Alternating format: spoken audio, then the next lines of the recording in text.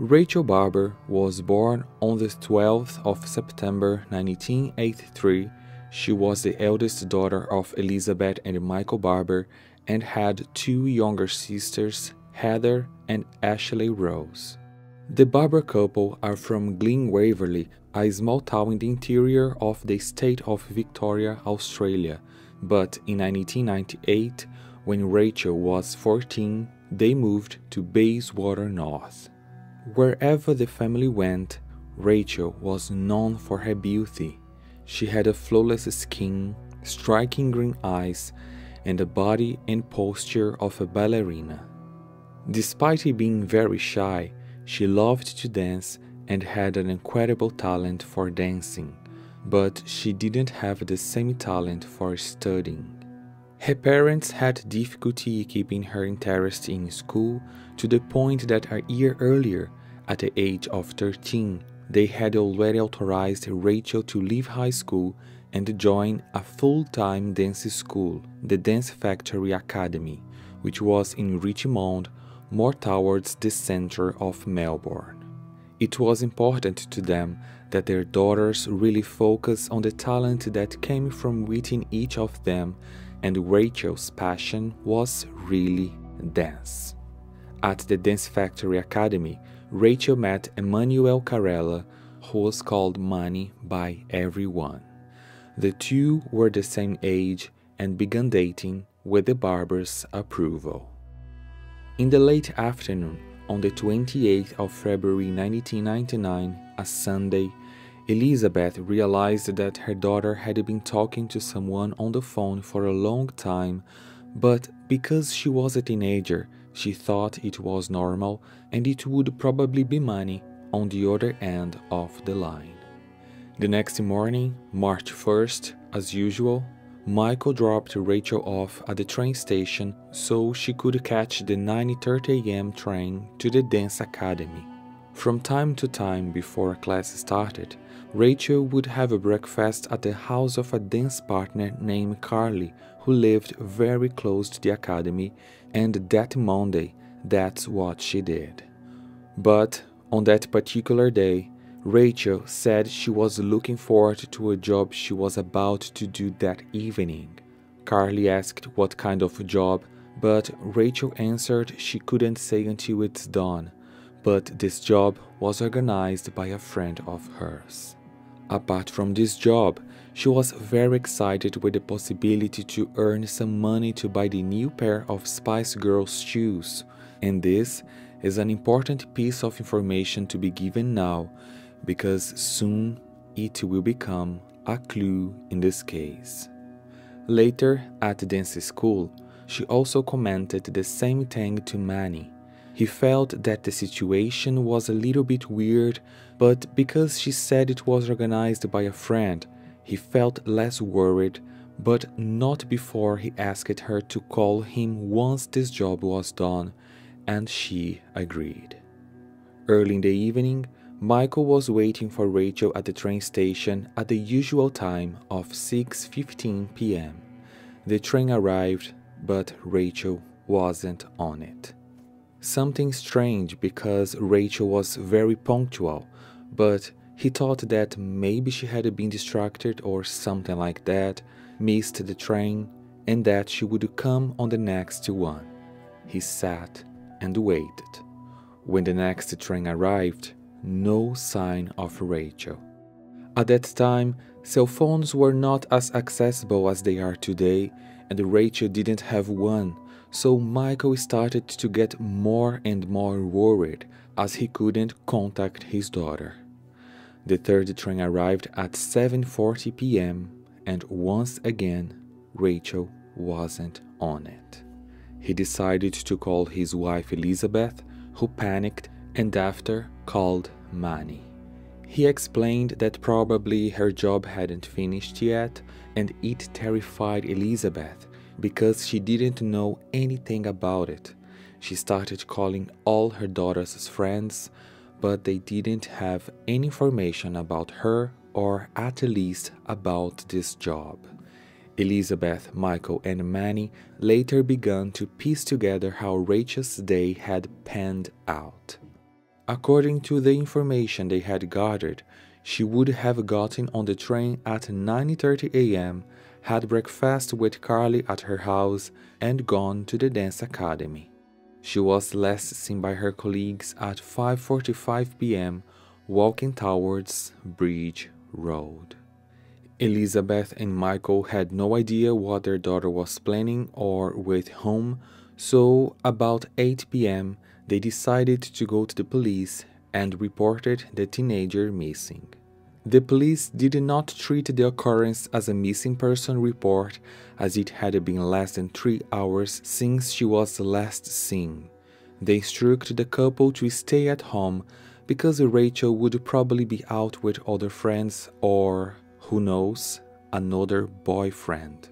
If she didn't show up after 24 hours, they could return. So the Barbers went home, but they couldn't even sleep.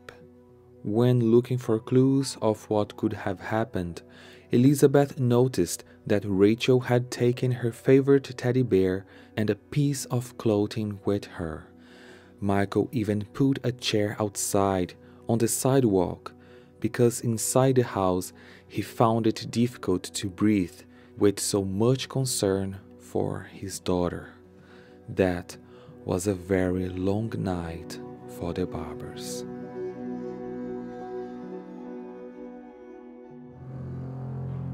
The next morning, March 2nd, Rachel didn't show up for breakfast at Carly's house, and she also didn't show up for dance classes.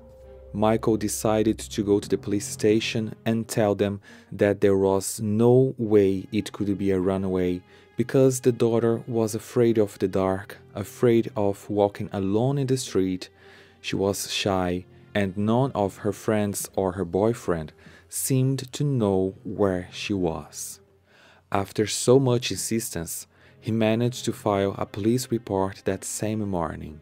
However, when Elizabeth returned to the police station at 2 p.m. to give a current photo of her daughter, she learned that they had lost the police report, which was still on paper and not typed into the system. She had to answer everything again that means from 10 a.m. to 2 p.m., no one had done anything. Discredited by the local police, Elizabeth and Michael decided to start their own investigation.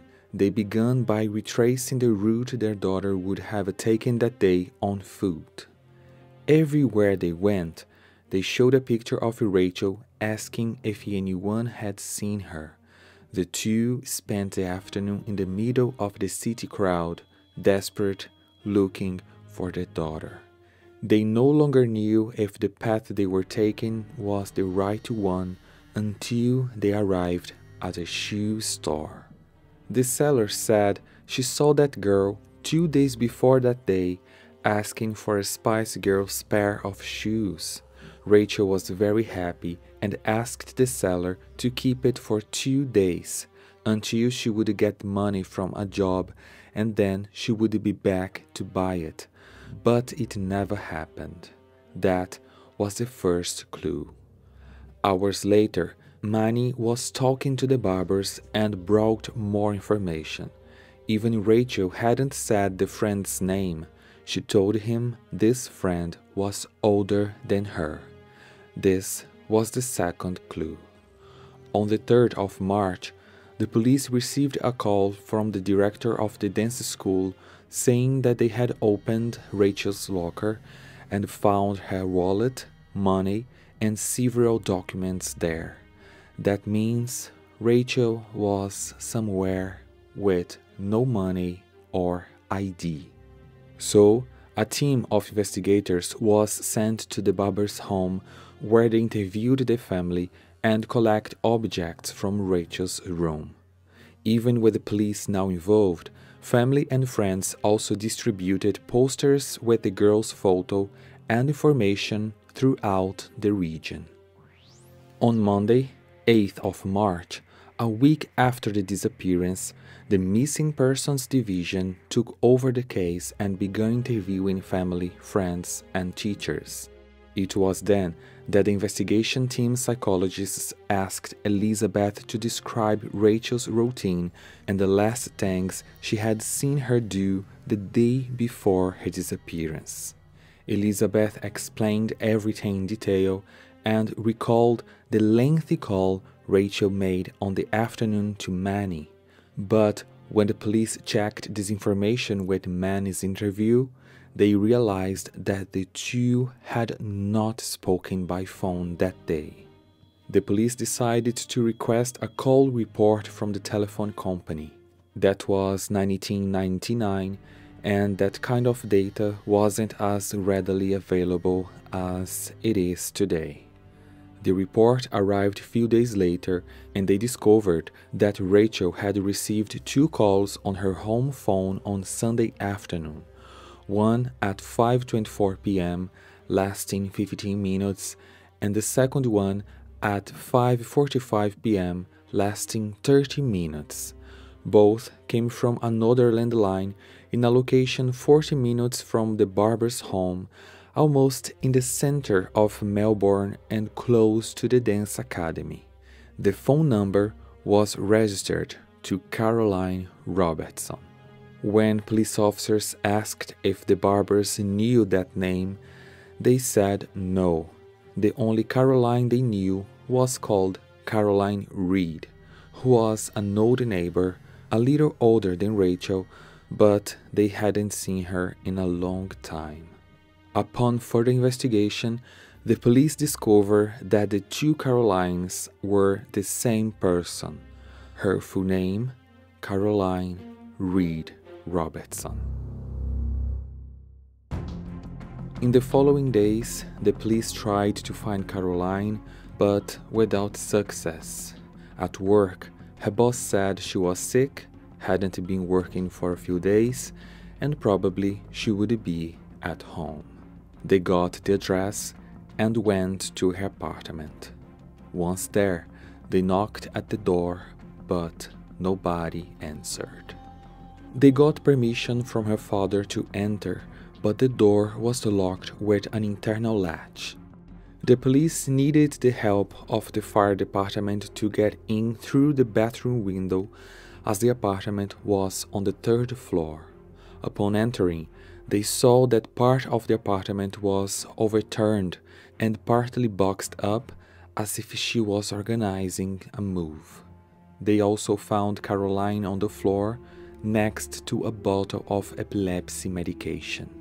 While help was being provided, the police searched the apartment and found a notebook with several disturbing notes. One of them was referring to Rachel. Caroline was taken to the emergency room, but within hours she was released and taken to the police station.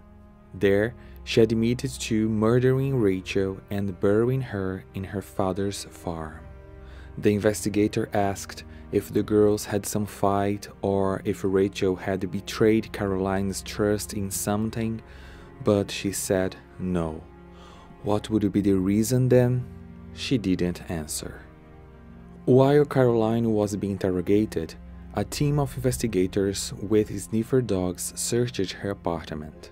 The dogs alerted them to the closet in one of the rooms, indicating that a corpse would have been there recently, and it was through the items collected in the apartment that the police were able to extract a little information and assemble a reconstruction. Caroline Robertson met Rachel's family in 1994 when they were neighbors in Mount Albert before they moved to Bayswater North. Caroline, who was 14 at the time, asked to look after the barber's daughters, Rachel, 10, Heather, 6, and Ashley Rose, still a baby. Caroline's younger sisters were the same age of Rachel's sisters, and the families visited each other frequently. In 1998, when the Barbers moved, the contact between the families decreased considerably. Caroline, however, seemed not to be satisfied with the distance. Notes found in Caroline's notebooks showed that she had had an obsession with Rachel for a considerable amount of time. She made all sorts of notes about the girl, from details taken from the baby album to charts of her growth, first words, first doctor's appointments, etc. She possibly had access to the family book that kept this information and copied all the data regarding Rachel. Her notes also showed tables of comparisons between the two, with positive attributions to Rachel and extremely negative attributions about herself. For example, Rachel had a perfect skin and she had lots of pimples. Rachel had a perfect body and she thought she was fat, awkward, and ridiculous. The criticisms that Caroline made of herself in her notes showed a feeling of extremely low self esteem mixed with an exaggerated hatred for herself. At the age of 18, she went to live alone in an apartment in Melbourne, and it was when her obsession with Rachel took on even greater proportions. Caroline planned to steal Rachel's identity, and this plan was written down detail by detail in her notes. Was this evidence along with more information later collected, that the prosecution created the version of what happened from the day that Rachel disappeared until the day that Caroline was arrested. On the evening of Sunday, 28th of February, Caroline called Rachel and invited her to participate in what she pretended to be a test a kind of survey like the ones people get paid to answer. She had already invited Rachel to participate in a fake beauty contest just to attract her to her home, but Elizabeth had not let her go because she thought her daughter was still too young for this type of work. However, this time Caroline told Rachel that it was a secret research project that no one could find out about, not even her parents. As part of the research, she asked Rachel to pack a backpack with the things she most liked. The following day, 1st of March, Caroline missed work with the excuse of being sick and arranged to meet Rachel at the train station near the dance academy. The two went to Caroline's apartment where the supposed test would take place. On the way, they bought pizza. In the apartment, while Rachel waited in the living room, Caroline added powdered antihistamines to the girl's slice of pizza. She had also bought two bottles of wine, but Rachel refused to drink alcohol. In conversing with one of the prison psychologists, Caroline confessed to having started a kind of relaxation meditation after the pizza. Rachel was used to this practice as she had already done these meditations at the dance academy. She sat in the lotus position where her legs were bent and crossed, with a straight spine and closed eyes. Then Caroline asked Rachel to think of peaceful things and moments that made her life happy. With Rachel sitting there, thinking about good things, Caroline got up very slowly, went behind the girl, and strangled her with a telephone cable. She claimed to not remember what she did next. On the second and third, she would have stayed at home with the girl's body kept in her wardrobe. On the fourth, she hired a moving company and asked them to transport a sculpture to her father's farm.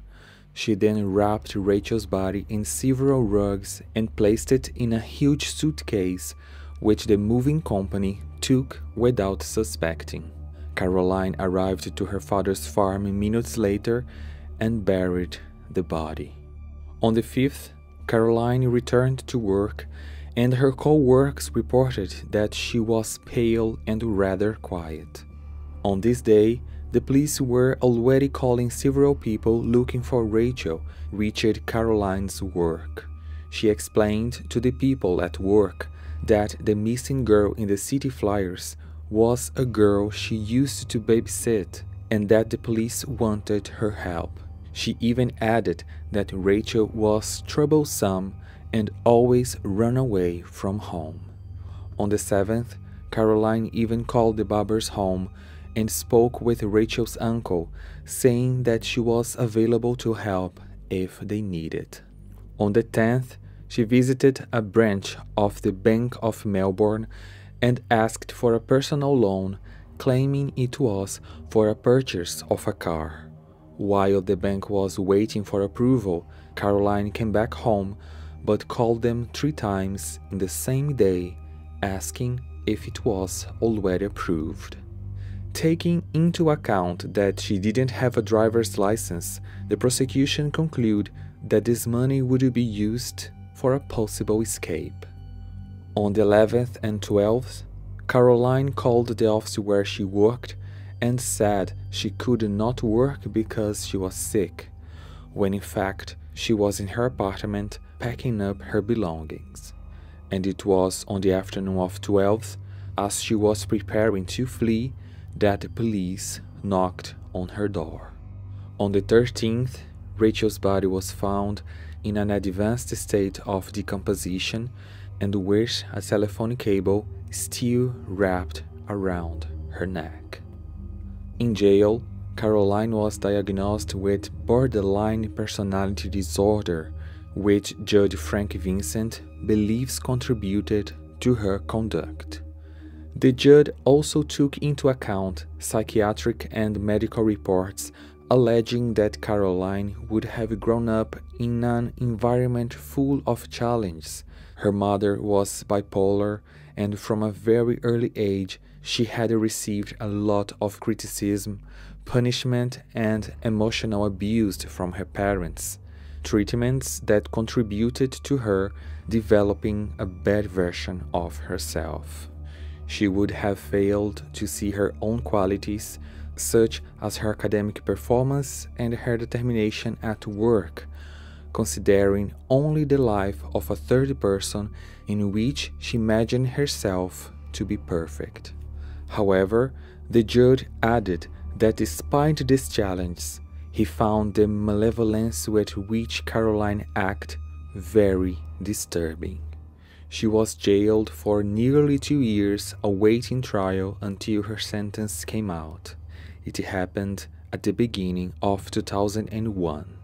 The version of the murder put together by the police was presented by the prosecution and accepted by Caroline, who pleaded guilty to the crime. She was sentenced to 20 years in prison. Elizabeth Barber, Rachel's mother, wrote a book called Perfect Victim where she tells how Rachel's life was from the moment she was born until the moment Caroline was arrested. The book gave rise to the movie In Her Skin from 2009, which in some countries received the title of I Am You. Rachel's boyfriend Manny ended up becoming a singer and choreographer. He reached the top of the hits in Australia three times.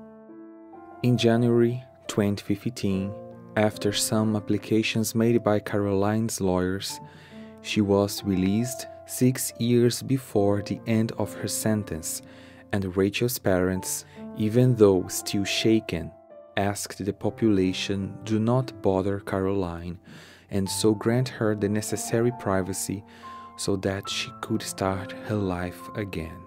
They don't want any contact with her, but they want her to start her life in peace.